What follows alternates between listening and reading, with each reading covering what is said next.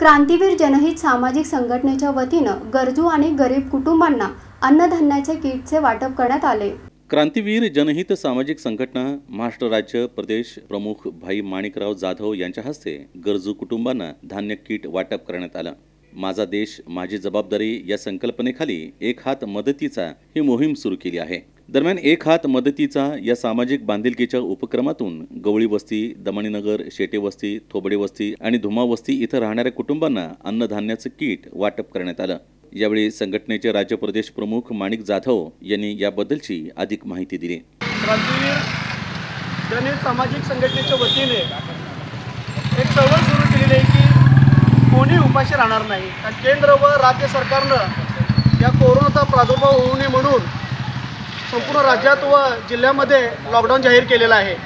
या लॉकडाऊनमुळं राज्यातील व देशातील आर्थिक परिस्थिती खूप बिकट झालेली आहे. त्या त्यामध्ये सर्वसामान्य गोरगरीब नागरिकांना उपासमारीची वेळ आली आलेली आहे.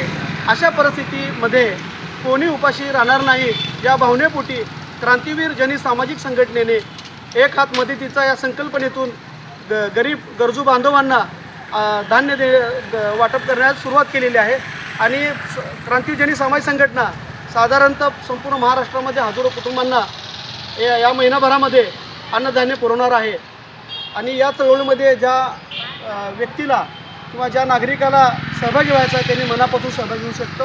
यावेळी जिल्हा प्रमुख महेश जाधव शहर प्रमुख रमेश चव्हाण रिक्षा संघटना प्रमुख संजू मस्के दिग्विजय पवार अनुप बायस आदी उपस्थित होते. यावेळी अधिकाधिक गरजू आणि गरीब कुटुंबांना अशा पद्धतीचं धान्य वाटप करणं अत्यावश्यक असल्याचं मत इथल्या नागरिकांनी व्यक्त केलं.